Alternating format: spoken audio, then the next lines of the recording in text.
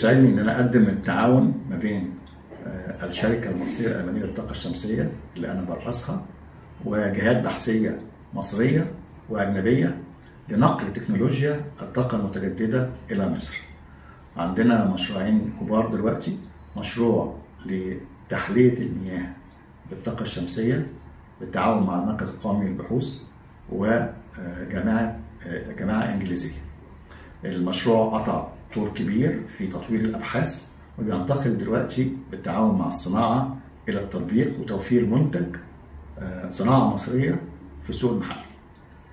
المشروع الثاني اللي بدأنا فيه هو مشروع الهيدروجين الأخضر وده آه، اتجاه عالمي وتكنولوجيا عالمية تهدف إلى آه، إنتاج الهيدروجين لتوفير الطاقة من الطاقة المتجددة بحيث ما يكونش ليه أي أثر بيئي ملوث على البيئة.